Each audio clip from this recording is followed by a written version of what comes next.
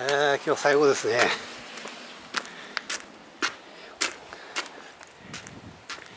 そこ選びましたので今歴史の道八尾市の歴史の道を歩いとんだけどね。これを左行くんですよ。左そこなんですよね。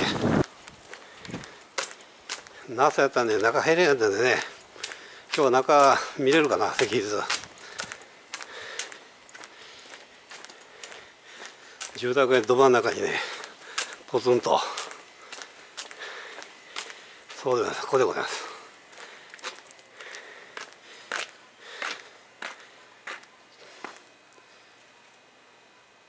外から見学してください。直径15メーター高さ3.8メーター6世紀、えー、春徳村伝説で、えー、誰かねここのここに希望した人おんだけどね。ちょっと中見てみましょう。失礼します。ほら丸ボになってる。もうボーボーだったもんね草が。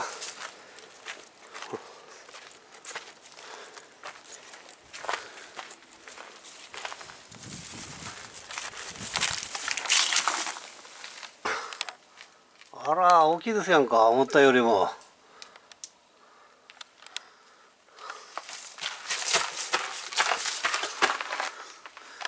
あら大きいわ奥行きがこっからでもね5メーターぐらいあるからね56メーターあるから。高さどれぐらいあるの？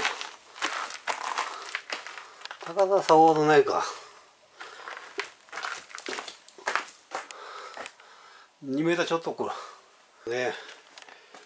笠戸ででございますけどね。はい。6世紀ですか。ほんじゃちょっとねあのああいうここに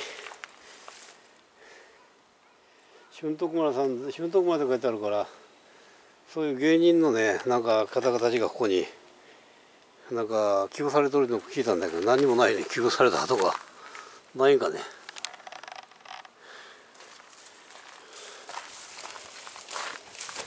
西川から行けるのかね。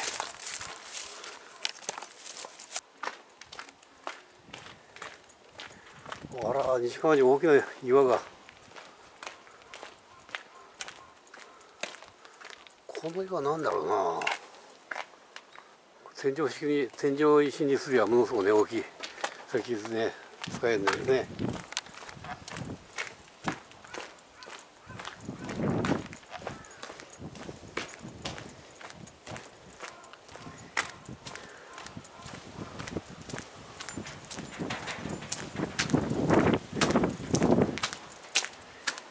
ほら大きな岩や